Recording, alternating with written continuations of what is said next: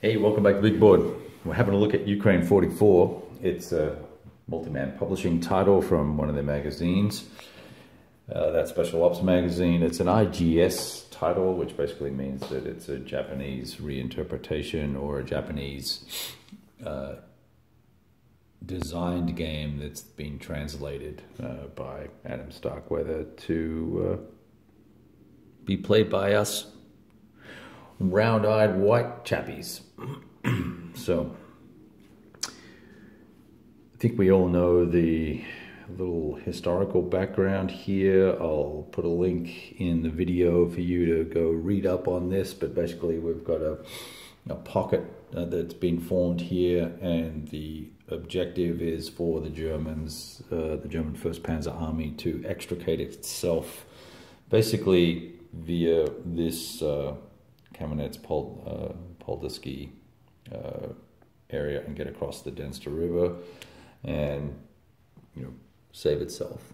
Uh, back in 44, 1944, this was quite the epic uh, exit. And uh, there was a lot of, uh, you know, it's been represented in other games. I think as Hube's Pocket is one of the titles that perhaps you've heard of, or one of the campaigns you've heard of to represent that. At least that's what I believe. So that's the, that's the little 10 second snippet. So I'm a little bit distracted this morning, so uh, I'm trying to trying to get through this so that you can uh, understand a little bit about this game, and then we'll we'll keep playing. We're right at the mobile, or what I would call the mech uh, mech movement phase, which is the last movement phase in the German half of the turn at the beginning of turn five, so March 27th, 1944.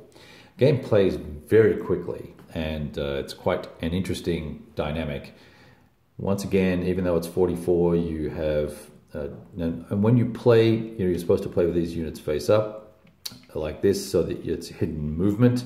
I'm obviously playing it exposed since I'm playing it solo. I don't know that that would make too much difference other than I think as the German player, you can do a little more.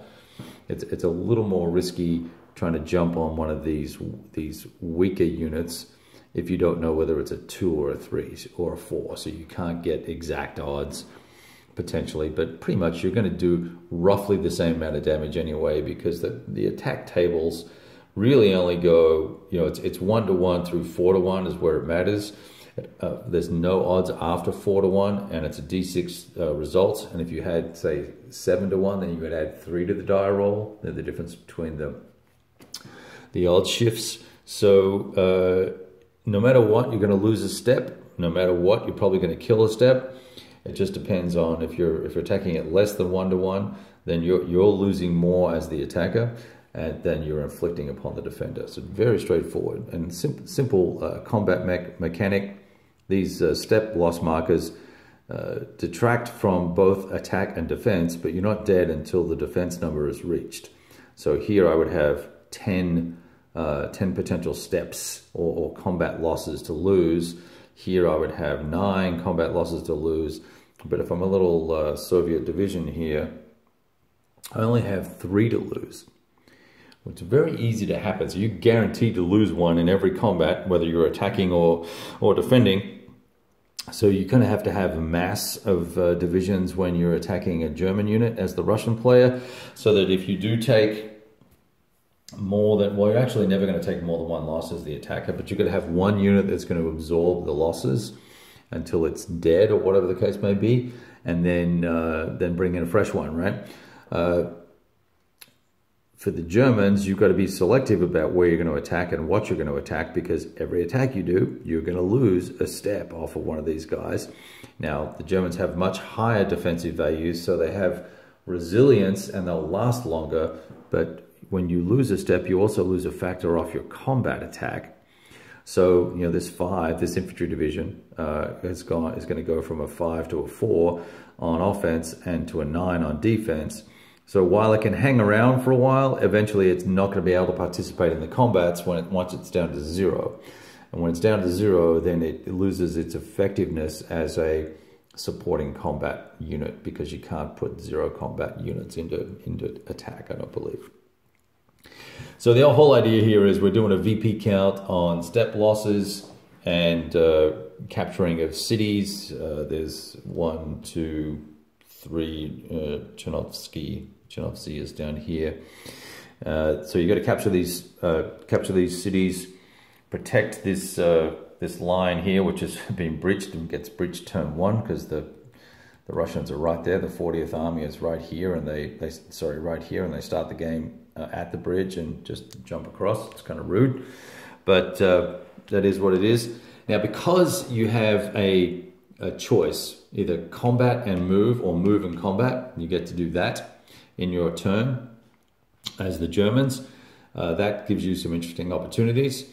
Uh, you then will then get a mobile uh, movement phase, which is all mech units basically get to move again. So you're going to get to move and fight, or fight and then move, and then you're going to have a second uh, second movement for mech units. Now, I've got myself into a few pickles here and there where we have uh, forces that uh, weren't able to do the secondary move and they've become somewhat isolated. We've also got a few other a few other units over here, just here in the glare right there, that are they're in trouble. Both sides are feels to me both sides are encouraged to attack here. If you're not attacking, you're not moving. You're not really able to move forward. And as the Soviets, you can just attrit away these German forces, and as the Germans, you want to start smacking these smaller, weaker units, these three twos and five threes, you need to start knocking them out of the game so that you can, uh, so there's less force down here uh, that's going to be, you know, coming across this, trying to come across this river at some point. No stacking in this game. Stacking is enforced at all times. So that adds some uh, nuance to it, makes it a little bit hard for the Russians to get around, makes it difficult for the Germans to make sure that if they want to stay on the road and use the road, that they have to uh, make sure you move the units in the right order. It's a little bit of a pain in the ass, but it's not. I can see why they're they're doing it the way they're doing it. Playing solo makes it easy. If I make a mistake, I can just say, "Well, I meant to move this guy first, and then I go ahead and move that guy uh, through the unit." Uh, so it's just it's just rather than you know putting it back and then moving it again later. Uh, it's deadly. This is a deadly game. It's very fast playing. Uh, it's only taken me about an hour uh, or so, or maybe, maybe I don't know. I've kind of played this over the course of the evening last night while I was doing some other things. But I got four turns, most of most of four turns done in about an hour, and I've been at this for another twenty or thirty minutes, and here and where had to make some think about some choices that were being made. Got some units out of supply over here. Supply's pretty harsh. Uh, you're out of supply if you're five more than five hexes away back to a supply source, which is you know somewhere off map, and uh, then you become isolated. Then you start uh, either dying or losing effectiveness, uh, losing, uh, taking attrition, as the case may be. In essence. Um, interesting strategy here, whether you you know collapse back or try and hold the line. Uh, when the game first starts, the you know the Russians can really start pushing all the way over here, and you think, well, there's no way you're going to be able to stop them. But with this mobile mech move business, you're able to lunge some forces into play, uh, try and slow the Russians down a little bit, which we, which we've done over here. So all in all, just first blush, five turns in uh, of a 12 turn game, I'd say it's pretty interesting. I, I do question, based on the, t- the time scale of daily turns, the ability of the Germans to be as mobile and effective as they are. I, I mean, we're, we're, we're wiping out the equivalent of divisions at a time here. So I've taken out three, four, five, six divisions of basically infantry units for the loss of one division of my own, and of course a number of other step losses as we go around. Um, clearly, I'm going to lose this division here. Uh, I'm wondering about the, the the na- the nature of that uh, sort of cadence of battle and tempo of battle, whether that's you know realistically what was going on here, whether it was really that brutal and that uh, that sort of volume of uh, of violence uh, being being forced upon each other. Who knows? Maybe that's what it was like. I'll have to do a little more history digging. But anyway, that's kind of the game. Uh, pretty interesting stuff. Fast player. It's kind of fun. Uh, I will be playing this opposed in three or four weeks against one of my buddies online, Steve.